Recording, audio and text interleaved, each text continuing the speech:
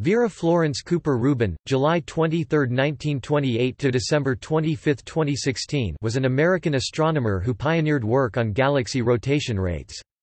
She uncovered the discrepancy between the predicted angular motion of galaxies and the observed motion by studying galactic rotation curves. This phenomenon became known as the galaxy rotation problem and was evidence of the existence of dark matter. Although initially met with skepticism, Rubin's results were confirmed over subsequent decades. Her legacy was described by The New York Times as, "...ushering in a Copernican scale change." In cosmological theory, beginning her academic career as the sole undergraduate in astronomy at Vassar College, Rubin went on to graduate studies at Cornell University and Georgetown University, where she observed deviations from Hubble flow in galaxies and provided evidence for the existence of galactic superclusters. Rubin spent her life advocating for women in science and was known for her mentorship of aspiring women astronomers. Her data provided some of the first evidence for dark matter, which had been theorized by Fritz Zwicky in the 1930s. She was honored throughout her career for her achievements, and received the Bruce Medal, the Gold Medal of the Royal Astronomical Society, and the National Medal of Science, among others.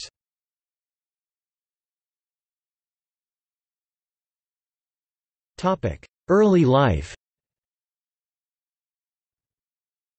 Vera Rubin was born Vera Florence Cooper, on July 23, 1928, in Philadelphia, Pennsylvania. She was the younger of two sisters. Her parents were Jewish immigrants, Philip Cooper, a Polish-American electrical engineer who worked at Bell Telephone and Rose Applebaum Cooper, of Bessarabian origin, who worked at Bell until their marriage. Her father was born in Vilnius, Lithuania until 1945 Vilnius was Polish, as Pesach Kobszewski. The Coopers moved to Washington, D.C. in 1938, where 10-year-old Vera developed an interest in astronomy watching the stars from her window. She built a crude telescope out of cardboard with her father, and began to observe and track meteors. She attended Coolidge Senior High School, graduating in 1944. Rubin's older sister, Ruth Cooper Burg, eventually became an administrative law judge in the United States Department of Defense.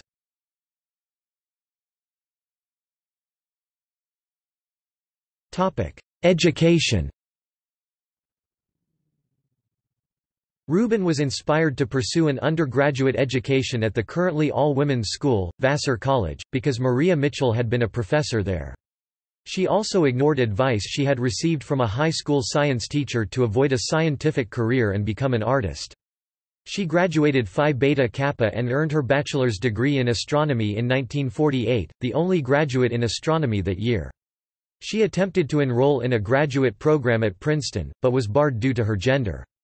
Princeton would not accept women as astronomy graduate students for 27 more years.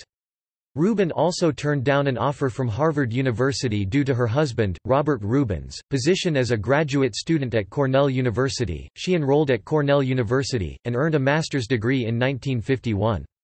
During her graduate studies, she studied the motions of 109 galaxies and made one of the first observations of deviations from Hubble flow how the galaxies move apart from one another.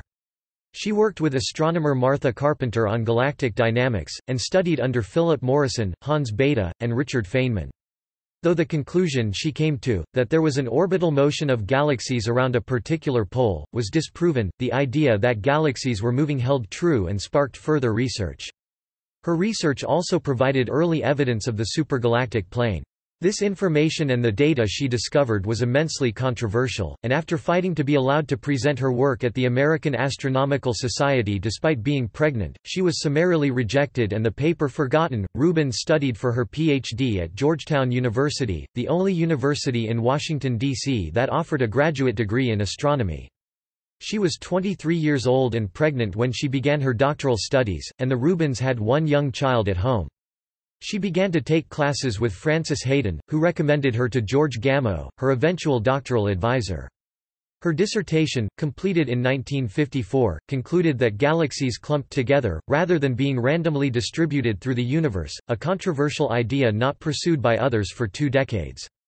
Throughout her graduate studies, she experienced discouraging sexism, including an incident where she was not allowed to meet with her advisor in his office, because women were not allowed in that area of the university.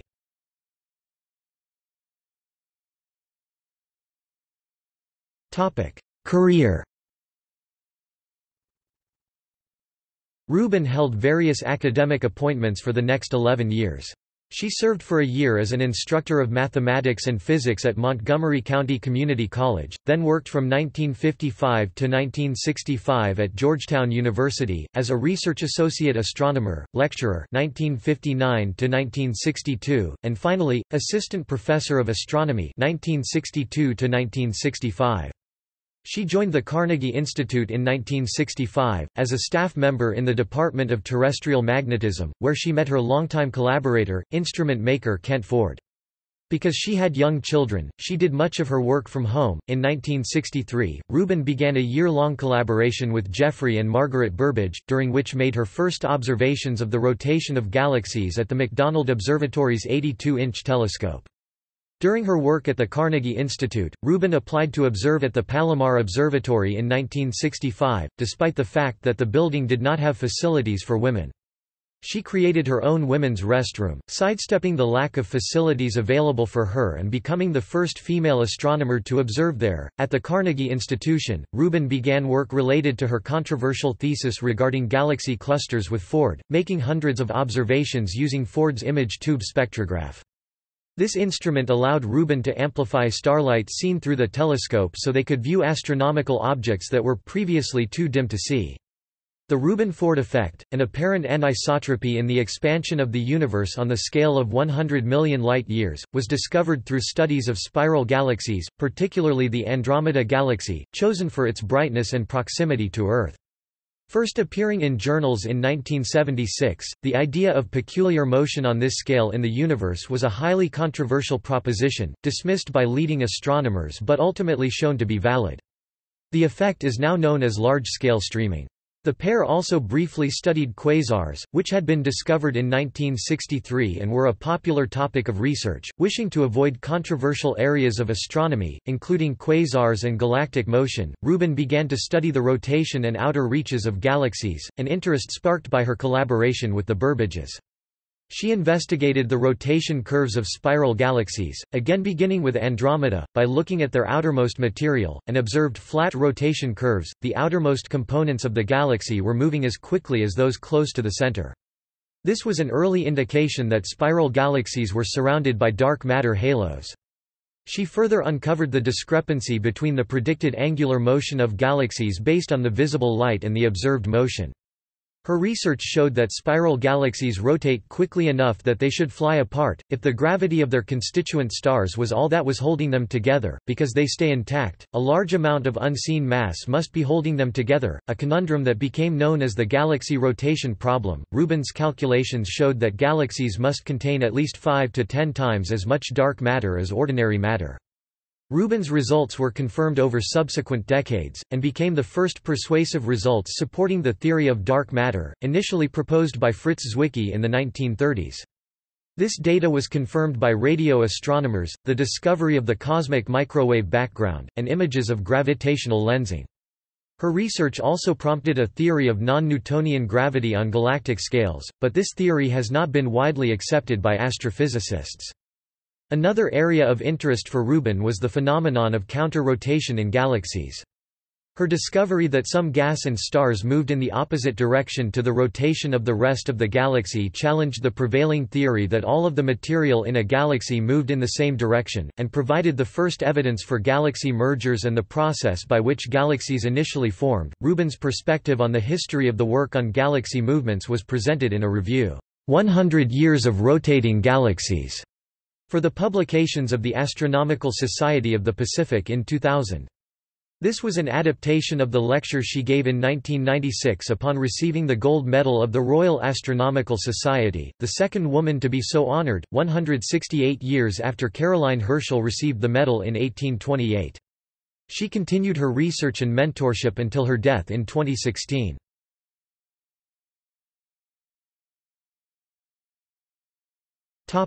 Legacy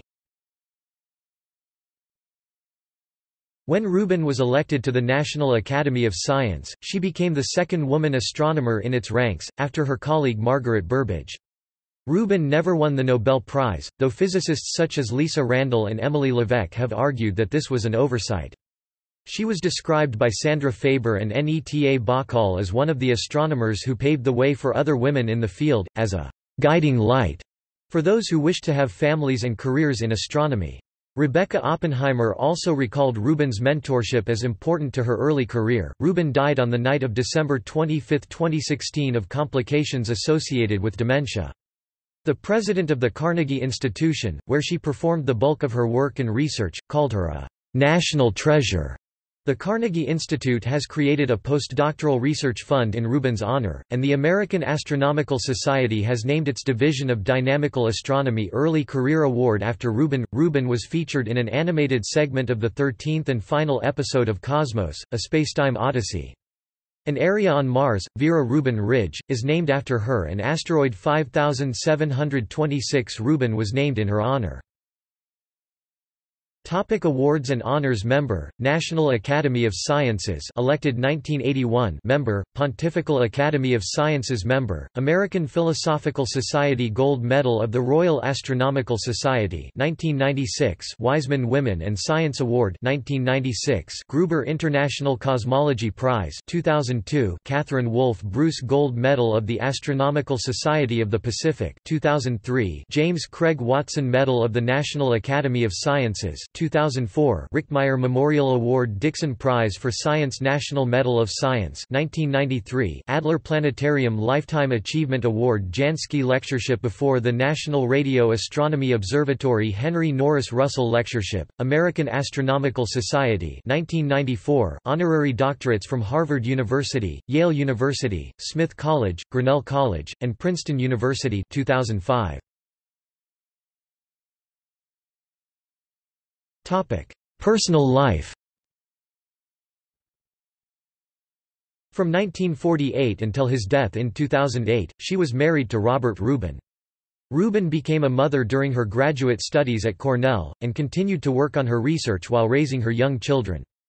All four of her children earned PhDs in the natural sciences or mathematics. David, born 1950, a geologist with the U.S. Geological Survey; Judith Young, 1952 to 2014, an astronomer at the University of Massachusetts; Carl, born 1956, a mathematician at the University of California at Irvine; and Alan, born 1960, a geologist at Princeton University. Her children recalled later in life that their mother made a life of science appear desirable and fun, which motivated them to become scientists themselves. Motivated by her own battle to gain credibility as a woman in a field dominated by male astronomers, Rubin encouraged girls interested in investigating the universe to pursue their dreams. She faced discouraging comments on her choice of study throughout her life, but persevered, supported by family and colleagues. In addition to astronomy, Rubin was a force for greater recognition of women in the sciences and for scientific literacy. She and Burbidge advocated together for more women in the National Academy of Sciences on review panels, and in academic searches. She said that despite her struggles with the NAS, she continued to be dissatisfied with the number of women who are elected each year, and called it, "...the saddest part of her life." Rubin was Jewish, and saw no conflict between science and religion. In an interview, she stated, In my own life, my science and my religion are separate. I'm Jewish, and so religion to me is a kind of moral code and a kind of history. I try to do my science in a moral way, and, I believe that, ideally, science should be looked upon as something that helps us understand our role in the universe.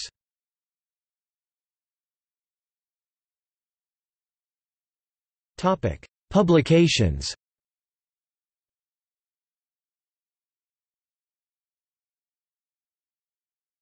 Topic: Books. Rubin, Vera 1997. Bright Galaxies, Dark Matters. Masters of Modern Physics. Woodbury, New York City, Springer Verlag, AIP Press. ISBN 1563962314. Alan Lightman, Roberta Brawer 1992. Origins, The Lives and Worlds of Modern Cosmologists. Harvard University Press. ISBN 9780674644717.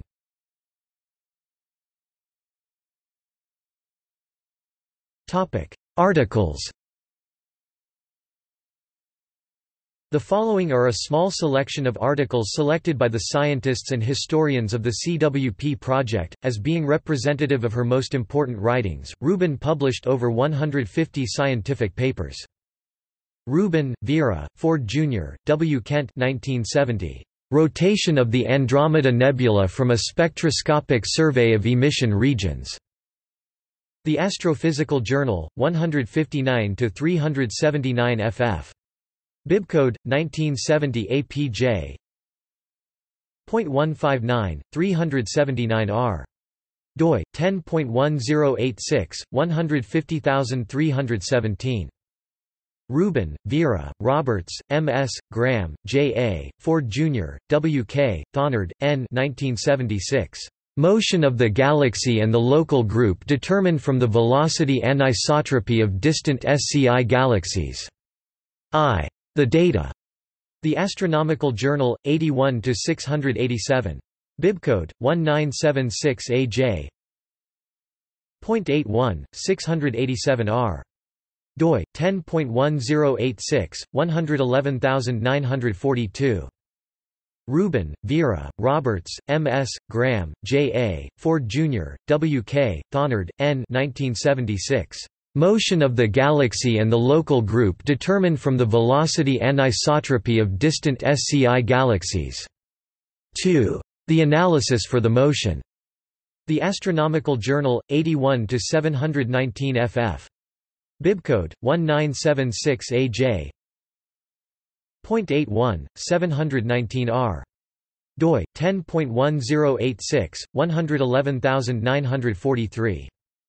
Rubin, Vera, Thonnard, N., Ford Jr., W. K. 1980. Rotational properties of 21 SC galaxies with a large range of luminosities and radii, from NGC 4605 R equals 4 kpc to UGC 2885 R equals 122 kpc. The Astrophysical Journal, 238 to 471 ff. Bibcode 1980 APJ. 0.238 471R. doi 10.1086 158003. Rubin, Vera, Burstein, D., Ford Jr., W. K., Thonnard, N. 1985. Rotation velocities of 16 SA galaxies and a comparison of SA, SB, and SC rotation properties. The Astrophysical Journal, 289–81 ff. Bibcode, 1985 APJ. 0.289 81R. doi 10.1086 162866. Rubin, Vera, Graham, J. A., Kenney, J. D. p. 1992. Cospatial counterrotating stellar disks in the Virgo E7, S0 Galaxy NGC 4550.